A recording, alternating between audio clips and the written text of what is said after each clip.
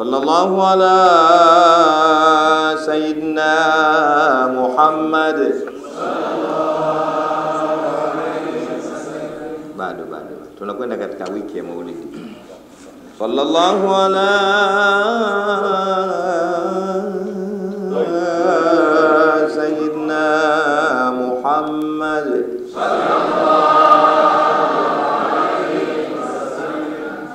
Natu- Natumia sika sauti ya Mtume Muhammad. Tupate moja ya mwisho. Jawabu yake. Sallallahu ala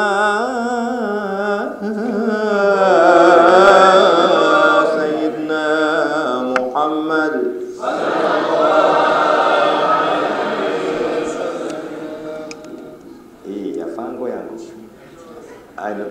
Binasra. Jamani haya mje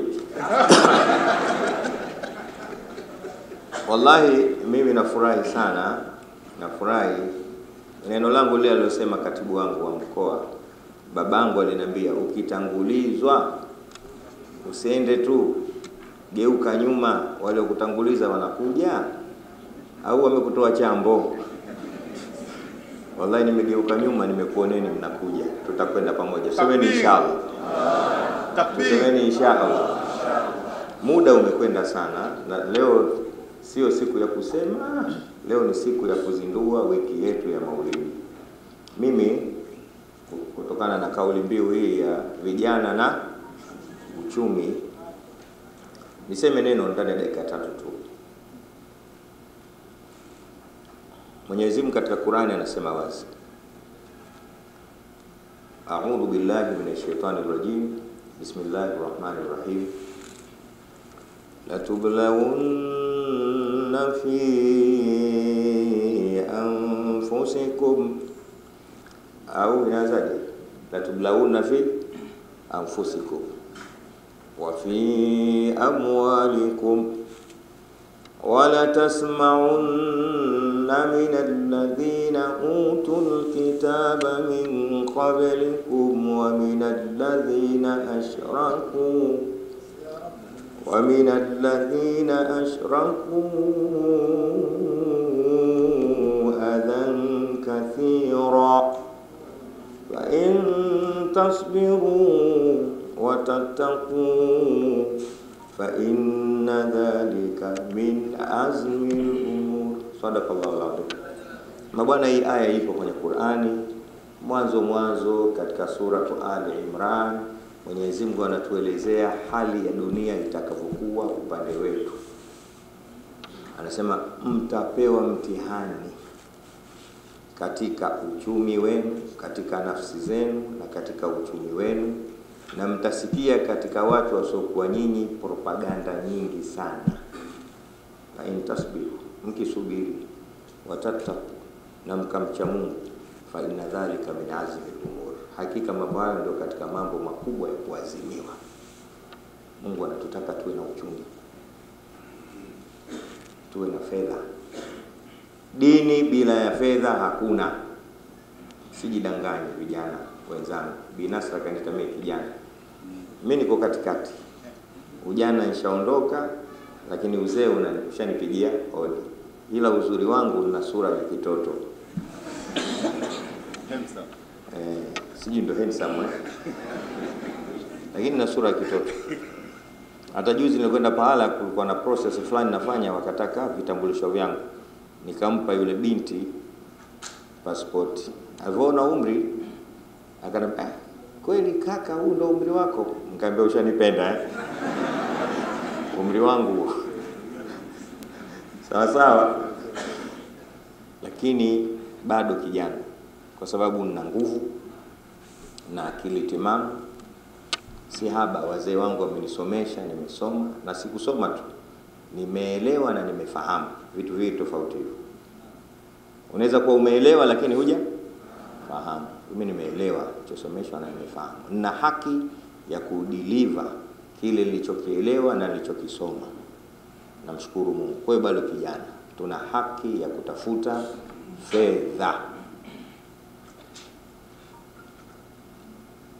Mnisikilize vizuri vijana, uchumi wetu, mashehe wa wilaya mliokuwepo hapa, baraza la mashehe, viongozi wote wa vijana kwa kada zote, tuna haki ya kutafuta fedha, na mimi leo nataka niwagusie sehemu ambapo hela imejificha.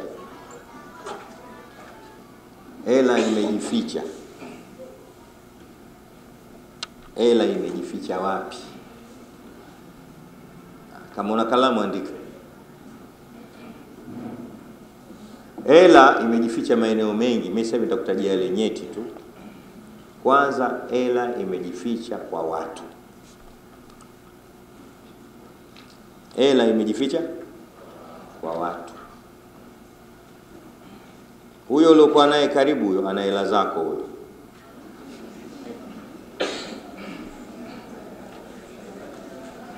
Watu wengi hawalijui. Huyo wa kulia ana hela zako, wa kushoto ana hela zako. Peaneni mikono.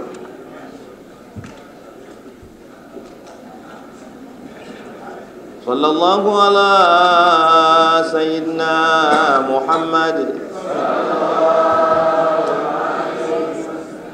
Sasa utazipataje hela zake alizozificha? Hela zako alizozificha ni kwa kumhudumia, alkhidma. Watu wengi wana- wana- wanalikosea hili. Lazima uwe na namba kubwa ya kuwahudumia watu wakupe pesa zako. Kadiri ukiwa una namba ndogo, wazungu wanasema the number is not lies, namba haiongopi. maona huyo wa kulia na wa kushoto, kila mmoja na elfu yako. Sasa fanya mpango uichukue kwa kumwanzalia huduma, atakupa tu. Walimu wengi wa madrasa huwa wakalalamika, hatupewi hela. Wanapewa hela watu wa michezo, wanapewa hela watu wa mipira, wale wana huduma wanaoitoa. Wewe unahudumia nini? Mwenye kupenda mpira atampa hela yule Clatous Chama. Umeona ile goli la jana, ile ni huduma. Mimi nimeliona lile goli, ndugu zangu, katoa pasi nyingi kama tano hivi, zote zimefanyaje? Watu wanakosea. Yeye akapata kwenye kibendera kule, alivyopokea ule mpira, kitu cha kwanza arudieni ile goli, kamtizama kipa, akutizama ule msitu wa wale mabeki na striker wenziwe, akascore. Yule kakosa hela jana, lazima tu kile ah, mtampata wapi huyo? Sasa wewe katika nafasi yako unamhudumia mtu nini? Pesa imejificha kwa watu, na kila siku utafuta namba kubwa. Mfano mdogo tu, unatafuta kitu kupata elfu kumi leo eh, ni watu wangapi hao? Kama bukubuku buku, watu kumi tu. Kesho utafuta ishirini wale, kesho kutwa utafuta thelathini. Huo msitu wa kwanza. Sehemu ya pili, vijana wenzangu, ilipojificha pesa, imejificha pesa kwenye kipaji. Sajia kwa lugha ya Kiarabu inaitwa sajiyatun. Sajiyatun fihim tilka ghairu muhdathatin inna khalaika faalamu sharruha albidau. Ningekuwa niko darasani ningefasiri ubeti, lakini ipo katika kongamano la uzinduzi. Umeona hii kauli mbiu ya, ya, ya Mufti, jitambue. Ji, unajua maana yake nini? Tambua kipaji chako, tambua.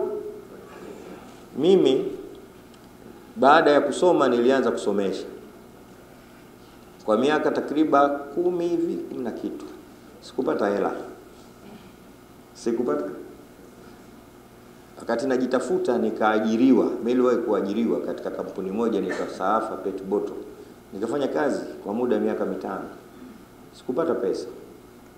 Nikagundua kipaji changu, nikaamua kukifanyia kazi. Jamani, na hela mimi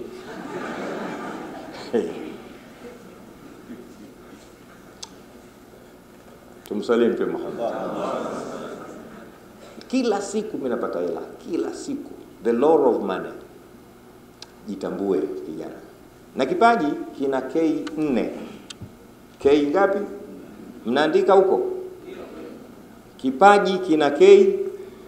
Kwanza kitambue kipaji chako ki, ki kitambue wewe una kipaji cha nini kipaji cha kusema kuna watu wanakula hapa kwa kuuza maneno tu kipaji chako kulima kipaji chako kuuza kipaji chako kitambue kwanza brother.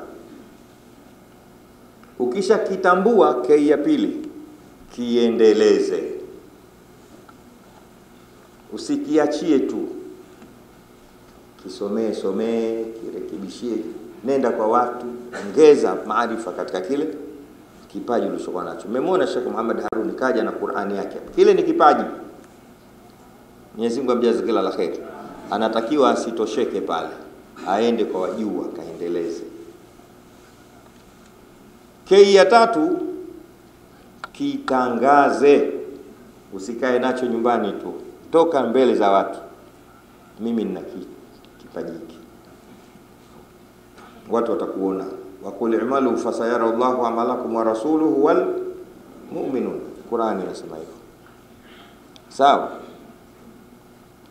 Mtume sallallahu alaihi wasallam alifanya kazi ya dawa miaka mitatu ndani ndani kisha akamwambiaje fasda bima tu'mar wa a'rid 'ani eh Ambia sasa toka nje na kipaji chako. Alipotoka nje ndani ya miaka ishirini na kidogo tu, ndio ule pale Uislamu ukatujia mpaka huku. Wakati ule hakuna simu, hakuna kompyuta, hakuna ndege ya mwendo kasi, hakuna chochote, lakini Uislamu ulifika siku aliotoka mbele za watu.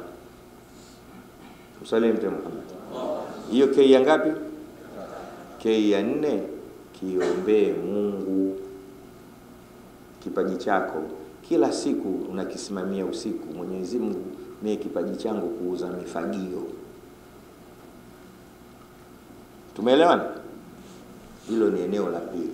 Eneo la kwanza, ilipojificha pesa yako katika watu kwa watu.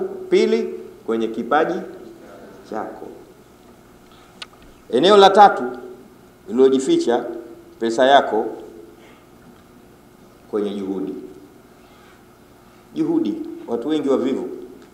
Mungu anasema wazi, walladhina jahadu fina lanahdiyanahum jitu. Watu tizama, hata wewe kama una watu wawili kwenye kazi fulani, unayempenda zaidi ni upi? Ni yule mwenye juhudi ya ile anachokifanya kazi. Kuwa na juhudi, ongeza juhudi kila siku, kwani hata huku kwa katika dini ukisikia mtu huyu walii, maana yake yule ana juhudi ya kuabudu Soma hadithi al-Quds. Mwenyezi Mungu anasema mtu akifanya mambo ya faradhi nitampenda, nitamkaribisha, atakuwa karibu yangu.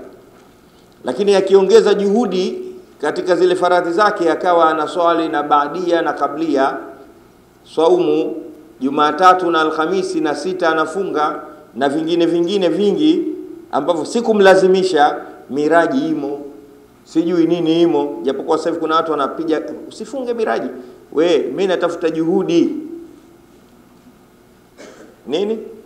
Mtume sallallahu alayhi wasallam alivyokwenda Miraji, alivyorudi alimwambia Bilal bin Rabah, Bilal, njoo, mimi nimekwenda kule, nimesikia sauti ya kiatu chako, we unafanya nini? Au amjui hadithi ile? Mtume sallallahu wasallam anamwambia Bilal bin Rabah, niko mbinguni, nimesikia unatembea cha kwani unafanya jambo gani mpaka nimekusikia kule? Akaambia mimi sina chochote, sema mimi nina juhudi, kila ninavyo tawadha uswali rakaa mbili. Juhudi sio juhudi? Mtume akamwambia wewe, mimi sitakufundisha hivyo. Maana kuna sema lazima kitu afanye nani? Wewe hujaelewa. Mtume anambia nimesikia unatembea kule peponi, peponi nimesikia unatembea unaongeza nini? Akasema juhudi yangu, kwamba kila nikitawaza mimi napiga rakaa mbili, ni juhudi. Sasa hata ya maisha haya, pesa zako zimejificha katika uvivu wako. Siku utakapoacha uvivu, ukatumia akili na nguvu alizokuwa Mwenyezi Mungu na afya yako, ukajibidiisha, unaingia katika maneno ya Mungu, walladhina jahadu fina lanahdiyannahum wenye kujitahidi tutawaongoza. Mwenyezi Mungu ajele katika hapo maeneo haya matatu haya eh? Naongezea la mwisho pesa imejificha, na hilo sasa ndo mweke, ndo muntaha. Pesa zako zimejificha kwenye matatizo ya watu. Mlango huo uko wazi, mpaka matapeli wanatumia. Tafuta matatizo ya watu, alafu wewe uwe problem solver, waondoshee watu matatizo yao, na vijana ndio nafasi yenu. Kila siku tafuta kuwaondoshea watu matatizo. Ukiwaondoshea watu matatizo, unaingia katika maneno ya Mtume Muhammad sallallahu alaihi wasallam, anasema man sanaa ilaikum marufan jawabu fakafi, wenye kuwaondoshea matatizo walipeni. Hii hadithi tunaisoma katika vitabu afu twaiacha tu kule, inatufundisha siri ya wapi imejificha pesa yetu. Amka asubuhi, utafute matatizo ya watu eh? Laqad jaakum rasulun min anfusikum azizun alayhi ma anitum, alafu mbele harisun alaikum bilmuminina raufur rahim. Tafuta matatizo ya watu, waondoshee watu matatizo yao. Kijana watakupenda na utapata pesa yao, watakutunza eh? Matatizo nayo yako mengi. Tatizo tulikuwa nalo sasa hivi, wale ambao ni sehemu ya kuondosha matatizo, wao wenyewe ni matatizo. Mbona mcheki hapo kidogo? Narudia, naweza kama mjaelewa. Tatizo yule ambaye kwamba anategemewa aondoshe matatizo ya watu, yeye ndio tatizo kubwa. Ndio maneno aliyosema Bi Nasra pale, mimi nimeyapenda sana. Mwenyezi Mungu akujaze kila la kheri. Tunatakiwa sisi tuwe ni sehemu ya kuondosha matatizo, tusiwe ndiyo matatizo. Mmeona, sijui hapo tena kama mtaofu kidogo hapo eh? Kamera kamera, Afrika ndio sehemu yenye matatizo mengi sana duniani. Na watu wamechungulia hilo, wameliona, wanatoka manchi yao huko wanakuja huku kwa ajili ya matatizo yetu, lakini wao wenyewe wanakuwa ni tatizo kubwa kuzidi kutuvuruga, na sisi tunavurugika. Wanaondoka na mzigo na tuache na matatizo, kesho wanakuja tena wanakoroga. Kuna kisa niliwahi kusikia pahala, yaliokotwa yaliku, yaliokotwa mafuvu ya watu ya watu ambao washakufa zamani, fuvu la mzungu fuvu la Mwarabu, fuvu la Muhindi na fuvu la Mwafrika kama mimi na wewe. Kisha akaambia jamani, kimbilieni yale mafuvu. Watu wote wakakimbilia fuvu la Mwafrika. Unajua kwa nini? Kwa sababu bado halijatumika, yale mengine yote yashakongoroka, bado hatujatumika, bado hatujatumia akili zetu, bado hatujatumia akili zetu, bado hatujajipanga kutumia ile busara kutoka Mwenyezi Mungu Subhanahu wa Ta'ala. Pesa yetu vijana imejificha kwenye matatizo. Tutakaposimama kusaidia na kuondosha matatizo katika jamii eh, tutapata pesa nyingi sana, na watu watakuja kila siku tena kwa njia, we mwenyewe utawa, utawa, utawaogopa wingi wao, utakuwa utashindwa, utatafuta msaada. Tukae katika mambo hayo manne kwa ufupi. Leo sio kongamano la kutoa mawaidha, sio kongamano la kuelekezana ni kongamano kwa ajili ya kuzindua wiki yetu ya Maulidi Nabii Muhammad sallallahu alaihi wasallam. Nirudie kuwapongeza vijana kwa hiki kitu, mligusa, mimi nikasema fanyeni, na alhamdulillah eh, mmefanya. Mimi nitapeleka salamu zenu kwa Mheshimiwa Mufti kwamba vijana unao wa kimkoa wa Dar es Salaam na wako tayari kukusaidia Mheshimiwa Mufti. Mimi nitawatia, nitajichanganya na nyinyi ili tuwe pamoja nawahakikishia kila kinachowezekana mimi kukifanya kwa ajili ya vijana nyinyi, mimi nitakifanya. Takbir. Hii habari ya ofisi nimemuuliza Jamali siku nyingi sana, vijana ofisi yao iko wapi? Na hapa nimemuuliza tena, na kushukuru mwenyekiti umeligusa, na bwana Kiswero kaguswa, bibi Nasra kaguswa. Mimi sisemi nitafanya nini, nataka nione ofisi inapatikana, alafu mtaona nafanya nini pale, nitasaidia sana, na niwaambie Nimemsikia katibu hapa akisema nusirtu bishababi. Haya maneno ameyasema Mtume Muhammad kwamba mimi nimenusuriwa kwa vijana. Wallahi niwaambie, watu wengi waliomkubali Mtume Muhammad sallallahu alaihi wasallam kwanza walikuwa ni vijana. Hakuna mtu aliofikia umri wa miaka 30, ni umo umo 22, 25. Hata ukisikia Saidna Umar alisilimu, kawafuata umri wake ulikuwa umri gani? Akawa na vijana wadogo wadogo wakina Muadh bin Jabal, wakina Abdullah bin Umar na wengineo, wakina Saad bin Rabia. Saad bin Rabia yuko na mtume akiwa na umri wa miaka 14 shekhi, bwa mdogo kabisa. Muadh anapelekwa Yemen ana umri wa miaka 22, mdogo kabisa. Amri bin al-As anakwenda Misri ana umri wa miaka 28 na mpaka leo yuko kule kazikwa, eh? Ni Uturuki kazikwa, sio? Ah, yule Abi Ayub al-Ansari akiwa na umri wa miaka 32 vijana vijana ndio wenye kufanya kazi na vijana. Hata siku moja Mtume Muhammad sallallahu alaihi wasallam amekaa, likapitishwa jeneza mbele yake, akasimama, kisha alivyopita akawauliza yule nani? Akaambiwa yule kijana fulani. Akasema biumrihi laitahu mata ghaiban, kwa umri wake yule hakutakiwa kufa hapa, sababu ni umri wa kutaharaki bado kwenda mbio. inna shababa wal faragha wal jida mafsadatun lilmar'i ayya mafsada eh? Soma katika suratul Kahfi, Mungu anasemaje? eh? innahum fityatun amanu wazidnahum huda warabatna ala qulubihim idh qamu faqalu rabbuna rabbus samawati wal ardi lan nad'u min dunihi ilaha laqad qulna eh idhan shatasa. Inshallah, Mungu akijalia, iko siku tutatoa darasa lakini nyie ndio kila kitu. Masala ya kuambiwa taifa la kesho, acheni nyie taifa la sasa. Simameni kwa ajili ya baraza, simameni kwa ajili ya Waislamu, simameni kwa ajili ya umma, ili mpate faida kubwa sana ambayo itarudi kwenu nyinyi kwanza kabla ya kwenda kule. Wama alaina illa albalagh mubin. Wassalamu alaikum warahmatullahi taala wabarakatuh. Wal afwa.